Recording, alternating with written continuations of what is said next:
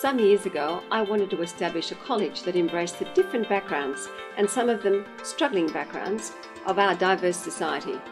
That is why we are called Diversity Skills, because our students come from so many different backgrounds and cultures, and they are all welcome. At Diversity Skills, we recognize that all students are unique in their own ways. Thus, we offer inclusive classroom atmosphere and develop flexible teaching curriculum containing various modes of teaching and assessment to accommodate people with diverse needs. We don't just look specific for a trainer who's qualified in industry. One of the main things we look for is that they have that care uh, and compassion that they can offer to our educators. I found it, the more I did as training, the more I enjoyed what I was doing and I felt that I was learning an awful lot from my students as much as I was trying to teach them.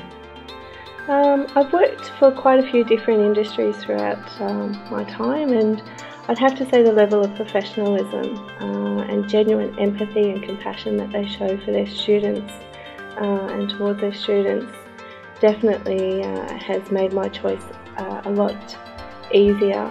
We provide support for disability, distance, low English, and cultural and religious requirements are all met. Uh, from the way that we are taught, uh, it's no discrimination. I'm a Filipino, you are an Australian. Studying here feels like home. As part of our curriculum um, and our employment arrangement, all of our trainers, they listen and share stories and, and understand where the educators have come from, which brings special qualities into the training rooms.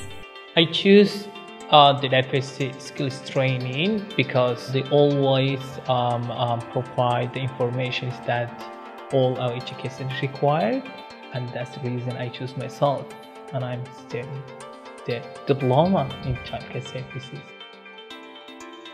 Encourages them to learn um, different skills, um, usually a different skill set from what the country they've come from, and a lot of them haven't got the educational standards that we have over here. So it's interesting to watch them to progress and develop into confident learners. I don't want to have a family daycare center. I just want to educate children and be the best that I can be.